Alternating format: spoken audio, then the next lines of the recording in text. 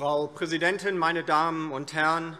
Herr Staatsminister Al-Wazir, ich frage Sie jetzt hier noch einmal, nachdem Sie mir ähm, versucht haben, äh, Ihre Sichtweise auf den Autobahnbau in verschiedenen Bundesländern äh, äh, darzulegen, noch einmal, wo, Herr Staatsminister Al-Wazir, war die Weisung des Bundes an das Land Hessen, die Autobahn A 49 weiterzubauen? Ich frage Sie, wo war der Widerstand des Landes Hessen gegen die Planungen des Bundes gegen diesen Autobahnbau?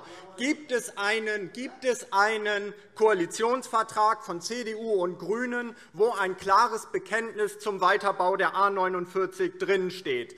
Gibt es die Drucksache 19700, in der sich CDU und GRÜNE zum Weiterbau der A 49 bekennen? Gibt es das alles oder gibt es das nicht? Und wenn es das gibt, was, glaube ich, die Sachlage hergibt, dann bleibt es dabei. Wenn das grüne Politik in Regierungsverantwortung ist, dann sehen viele Menschen in diesem Lande schwarz weil Sie nämlich sehen, dass Sie von Ihnen und von Ihrem Einsatz für die Verkehrswende nicht allzu viel erwarten können.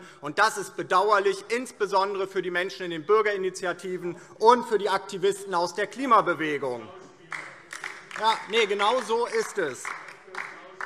Zum Zweiten. Ziviler Ungehorsam war und ist eine wichtige Triebfeder für die Demokratie.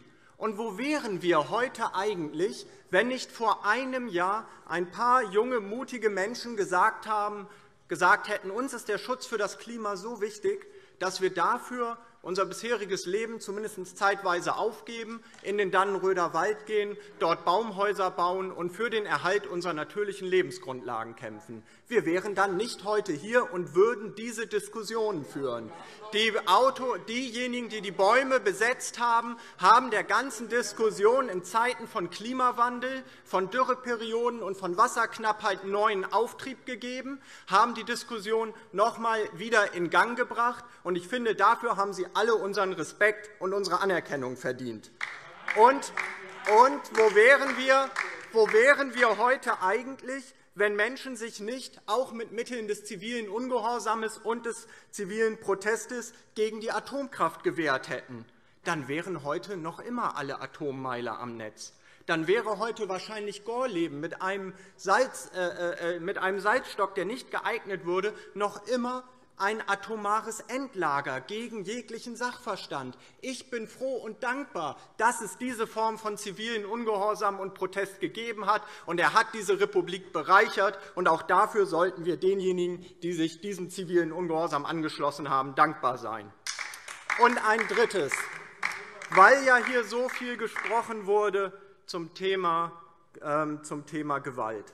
Ich glaube, ich habe dazu auch aus unserer Sicht alles unmissverständlich gesagt. Was ich hier aber nicht gehört habe, und das sage ich mal insbesondere an die Vertreter in diesem Teil des Hauses, ich habe keine kritische Bemerkung gehört zu Hass und ähm, Gewaltandrohung und Hetze in den sozialen Medien gegen die Demonstranten gegen die A 49. Ich habe nichts davon äh, gehört, was da an Gewalt auch ausgeübt wird gegen Menschen in den Bürgerinitiativen und gegen Leute, die gegen die A 49 aktiv sind. Und ich habe auch nichts gehört von unnötiger Härte der Polizei, von denen Demonstranten mitunter berichten. Ich finde, auch das gehört dann dazu, wenn wir über die Lage im Dannenröder Wald sprechen, meine Damen und Herren. Deswegen will ich will ich zum Abschluss auch noch einmal an Herrn Dr. Naas äh, äh, appellieren, der ja diese Aktuelle Stunde mit sehr viel Werf und vielleicht auch ideengeschichtlicher mangelhafter Sachkenntnis äh, vorangebracht hat, will ich noch einmal sagen, ähm, Sie sind hier ja sehr, ich habe es so empfunden, brachial aufgetreten. Ich habe mir sagen lassen, Sie sind ja auch im Dannenröder Wald gewesen. und Ich kann Ihnen nur rückmelden, die Aktivisten, mit denen ich gesprochen habe, fanden, dass Sie eigentlich ein ganz freundlicher Zeitgenosse sind und dass es ein gutes Gespräch war. Nur leider verhalten Sie sich hier im Hessischen Landtag anscheinend anders. Das spricht auch für sich. Vielen Dank.